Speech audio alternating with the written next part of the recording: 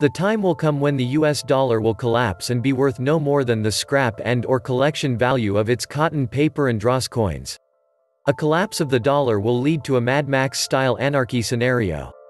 Anything could happen, and sometimes countries experience unrest during a currency collapse and debt crisis. It will lead to a total collapse of society. The effect of devalued dollar reserves on foreign countries is less clear and probably depends on each country. In case of a major systemic collapse, your best bet is probably to go for rural areas. Food shortage and urban unrest are the two things you are trying to avoid. Plenty of countries have lots of land. Like Russia, which probably be able to sustain a functioning energy market with their natural gas alternative. Scandinavia would be a good choice in summer. Welcome to the Atlantis Report. The dollar is the global trade and reserve currency. Everyone deals in dollars. So the countries which you should choose should be the ones who do not deal with the dollar at all but or will not in a few years. So, if they're able to sustain for a few years and go on without using the dollar, they'd be a great choice. The European countries have one drawback, i.e., their good amount of reserve and trade is in the dollar. So they will feel a ripple not immediately but after a while. The truth is that no country is safe if the dollar falls because someone or the other you deal with does rely on the dollar, and this leads to you getting affected if they do. It's the domino effect, and the first to start this fall would be the dollar. If the dollar collapses, foreign investors and central banks will stop demanding dollars. US bond prices will fall, or US interest rates will rise. Mortgage and credit card rates will soar, sending the US economy back into recession. The US government will respond by opening the monetary floodgates, printing as many paper dollars as necessary to keep the economy from collapsing. This surge in supply will send the value of the dollar through the floor. Prices for most things will skyrocket, and people whose life savings are in cash, bank, or dollar-denominated bonds will be wiped out. Many U.S. financial and manufacturing companies will go belly up, along with their stockholders. Globally, Asian and European goods priced in suddenly appreciating currencies will become prohibitively expensive for U.S. consumers. Throughout history, when a nation's debt exceeds its ability to repay even the interest, it can be assumed that the currency will collapse. Typically, governments exacerbate the situation by printing large amounts of currency notes in an effort to inflate the problem away, or at least postpone it. The greater the level of debt, the more dramatic the inflation must be to counter it. The more dramatic the inflation, the greater the danger that hyperinflation will take place. No government has ever been able to control hyperinflation. If it occurs, it does so quickly and always ends with a crash. Although there are observers, myself included, who frequently discuss what a reserve currency crash would mean to the world, there is little or no discussion as to how this would impact people on the street level, and perhaps that discussion should begin. When currencies crash, the state often tries to float a new currency. Sometimes, it's accepted, sometimes not. Generally, the people of the country and those trading within the country move immediately to the next best thing. In 2009, when the Zimbabwe dollar crashed, several currencies were used, but the US dollar was the clear favorite, as it was the world's reserve currency and, therefore, the most spendable currency. No wonder, the Zimbabwean government fought the use of the dollar, as they wanted to retain control of the economy and the people. People were, therefore, penalized for using the US dollar and other currencies. And that's what most governments do, but here's where that idea usually falls down. First, the black market currency is so desired by the now jaded citizens that they do all they can to avoid the new official currency. Soon, most transactions, although illegal, are undertaken in the black market currency. Second, since no one really wants the new currency, even the political leaders are soon using the black market currency. Eventually, the black market currency is legalized since it's the only truly workable solution, and it often becomes the unofficial currency, if not actually the official one. First, the euro crash.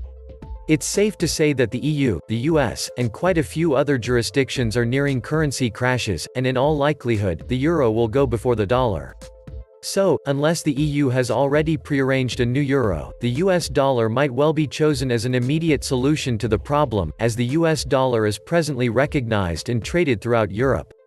Therefore, a relatively painless transfer could be made. Then, the dollar crashes. However, the dollar, which is presently praised as being a sound currency, is really only sound in relation to the euro and some other lesser currencies. Once its less stable brother, the euro collapses, the dollar will be exposed. As the US dollar is a fiat currency and is on the ropes, the US and any other country that is using the dollar as its primary currency when the time comes will experience a currency emergency at the street level that will be unprecedented.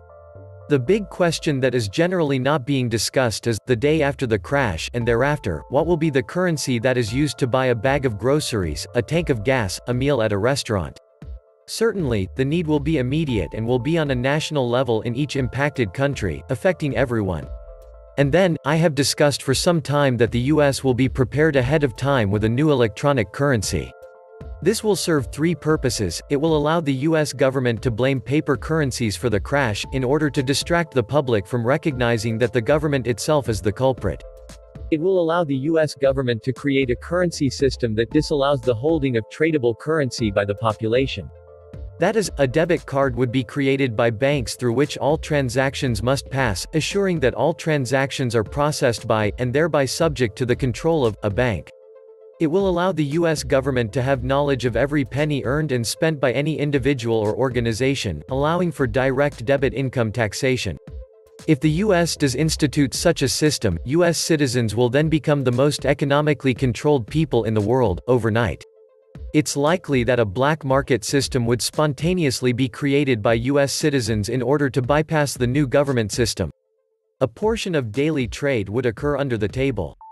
It would unquestionably be made illegal, and we can only speculate as to how prevalent it would become 10% of all transactions?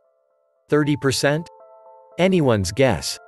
Surely, the government would crack down, and penalties might become severe. Anywhere else in the world, there would be greater freedom, but what would their currencies be? There are many countries that presently use the US dollar as one of their official currencies. After a crash, the greater the link to the US dollar, the greater the loss of economic freedom, although, in most such countries, the government is likely to be less efficient than in the US, which would work in favor of the individual. Such countries would also have the alternative of switching from the dollar to another dominant currency. With the euro and dollar gone, that currency might be the Chinese yuan. The difficulty with this possibility is that, presently, the yuan is not in common use on the street. Adoption of a currency such as a yuan would require a sudden switch in monetary policy, complete with teething problems. Nonetheless, recent developments amongst the BRICS and others indicate that many countries are already seeing the writing on the wall and are readying themselves for the use of the yuan as an alternative. A return to precious metals as currency? A further possibility is taking place in Mexico today. Mexico is remonetizing silver. A 1-ounce pure silver Libertad coin will function in parallel to and be interchangeable with the existing paper peso. Banks will value the Libertad daily, based upon the silver price. Thus, Mexico will create a legal way for its citizens to protect themselves against the devaluation of the peso, whilst creating internal protection against currency crashes in other countries. If the Mexican government remains persistent in its plan, it will do more than simply help stabilize Mexico economically, it will serve as an example to other countries that, when the Goliaths of the euro and US dollar fall, there is a very sound alternative. Further, the more countries that follow this policy, the more silver, and for that matter, gold, would become an international currency. It would matter little to a gas station owner in Canada, Australia, or Chile whether his till was filled with coins marked Mexico, or whether they said Iceland, New Zealand, or South Africa.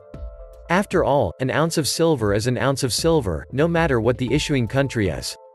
As the great unraveling proceeds, we would be wise to monitor what happens with the Libertad in Mexico and watch for a similar return to precious metals in other jurisdictions. As this development progresses, we might wish to consider that, whatever jurisdictions are the most forceful in demanding the continued use of doomed paper currencies, or, worse, transferring into electronic currencies, we may choose to store our wealth, no matter how great or small, in a safer jurisdiction.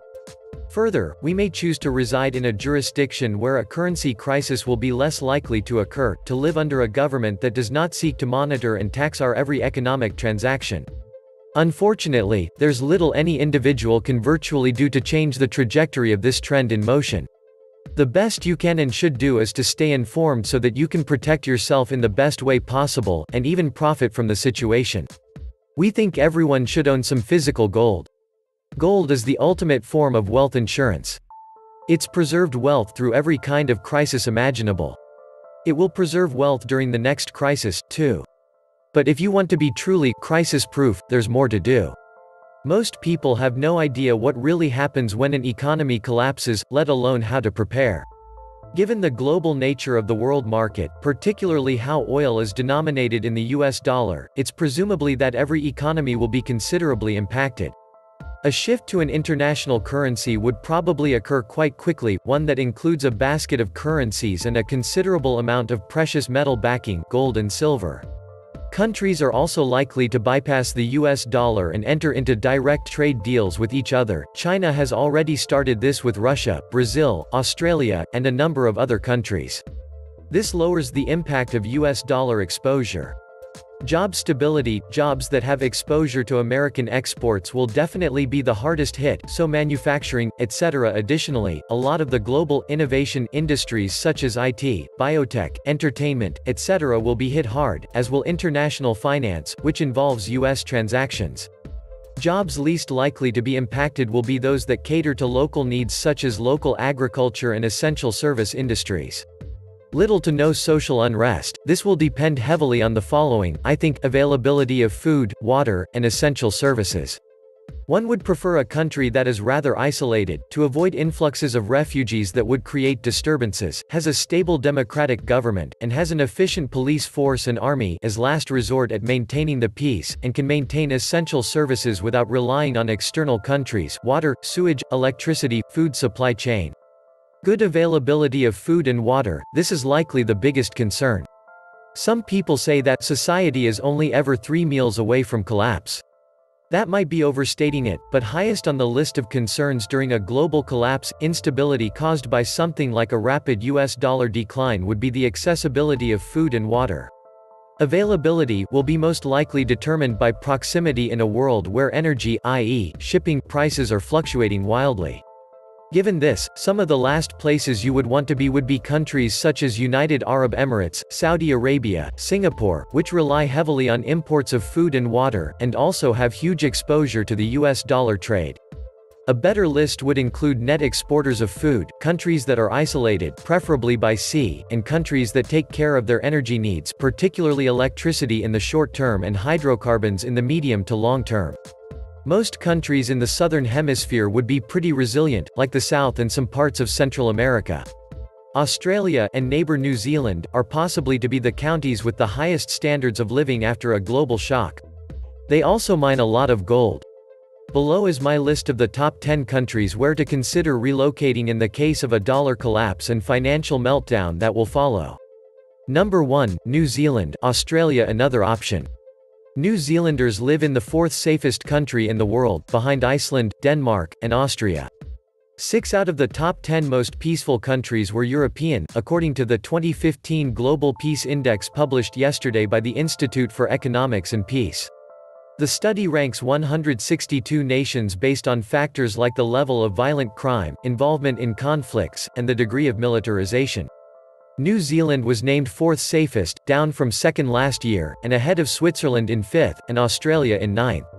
Political and social stability, relative race harmony, geographical isolation and low levels of corruption and crime were behind the ranking. This is a exceptionally uncorrupt, honest, and decent society, and compared to other countries, this country is incredibly safe. Most of the safest countries had small populations and were based on strong welfare state principles. If you ever get sick or are in a car accident, you won't be asked to produce a credit card before you get treatment. That also helps build a stable society. Number 2, Switzerland. Switzerland is not a NATO member. Switzerland is not a member of the European Union. So, Switzerland is a neutral country. The land of Swiss people is a nuclear-free zone. It means Switzerland is very far away from world politics, games, and groupism. Switzerland has no fear of war-like situations. Switzerland will never face any nuclear attack in the future. Switzerland is not the enemy of any country. Everyone is Switzerland's friend in the world. Number 3, Denmark. Despite being a small country, Denmark used to face many serious issues due to crime and terrorism in the past. However, it has effectively tackled all those problems and today, it proudly stands second on the list of safest countries in the world. Since the year 2012, Denmark regularly reserves its spot on the list of happiest countries too. Denmark consists of more than 400 small islands, and it is well known for offering equal opportunities and individual freedom. There is almost no gap between the top level and lower level of organizations. The government of Denmark is keen on the concept of internationalization that makes this country one of the most popular destinations for expats. Since Danish and Swedish languages are closely related to each other, it wouldn't be a big surprise to see a Dane and Swede having a conversation happily in their own tongue. English is taught as a compulsory second language in secondary schools. So almost everyone here can converse well in English. Regardless of its small size, Denmark has many things to offer in terms of outdoor activities, sports, and culture. Number 4, Iceland. Iceland is hundreds of miles away from any other land, so it shouldn't be a target in a World War III scenario. What's more, it's a great spot for fishing, so survivors would have an abundant food supply to keep them going until the world is rebuilt. Iceland is a safe and beautiful country, which could be a lifesaver in the event of World War III. Number 5, Canada, but outside of populated areas. Canada is the second largest country in the world, and 20.6% of its total population comprises of foreign nationals. Let alone, it is claimed to have the highest immigrants rate per capita in the world. Although this factor alone is more than enough to call it the safest country in the world, it has a lot more other lucrative factors. The healthcare system in Canada is highly commendable.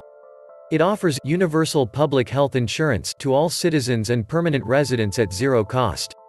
By using this Medicare, one can have access to the universally high standard treatments at both private and public hospitals. This system has inspired many people who suffer from chronic conditions to move to this country for healthcare purposes. However, people with temporary residency can't avail the same benefits. When it comes to employment, it offers enormous scope with many open positions in energy sectors, in the communication industry, real estate, and financial services. People at Churchill, part of Canada, leave their car in unlocked status, in order to give escape for the persons who might encounter polar bears. Canada has one-fifth of the world's freshwater. This water count is accumulated from its 250,000 lakes. Their quality of tap water is often better than our bottled water. Canada is being the world leader in producing hydroelectricity.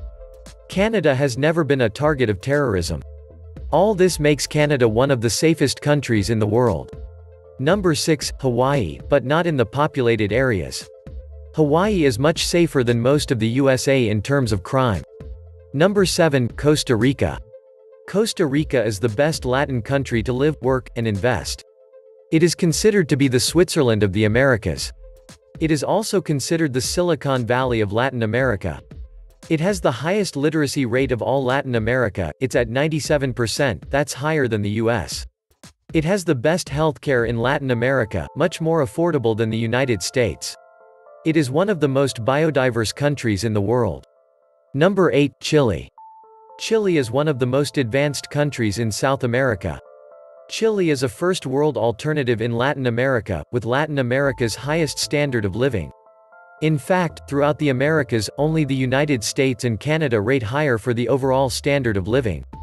The water is drinkable, the phone and internet are fast and reliable, and the public transit system is modern and efficient. The highways are modern, fast, and well maintained. Number 9. Argentina, Patagonia. Some parts of it largely remain untouched and pristine. The farmland here is still cheaper than other places in the world. The strength of nature is very ever present here, from the majestic Andes to the lonely cliffs by the seaside. It has one of the lesser population densities in the world, with about 2 million people dispersed across more than a million square kilometers in two countries. Number 10, Slovenia. Slovenia is a tiny beautiful country. People here seem most pretty and most welcoming. It has cavemen-friendly territory which has over 10,000 caves in Slovenia. Practically Slovenes have an abundance of self-confidence, have great respect for each other, and are broad-minded people. So no wonder why it's on the safest countries list. Slovenians love their towns. Their capital Ljubljana can be translated into the loved one. It has coastline around the only 46 kilometers, but the entire coastline is like heaven made. It is the safest country not only for humans but for animals too. This is the reason why Slovenia still has over 400 brown bears. It is surrounded by four friendly countries Austria, Italy, Croatia, and Hungary. Thus it doesn't need to involve in a fight with any country. Half of Slovenia's surface is filled with forest 10,000 square kilometers. It is the third most wooded country in Europe. Slovenes have 53.6% protected land, which is higher than any other country except Venezuela in the world. This was the Atlantis Report. Please like, share, and subscribe. Thank you.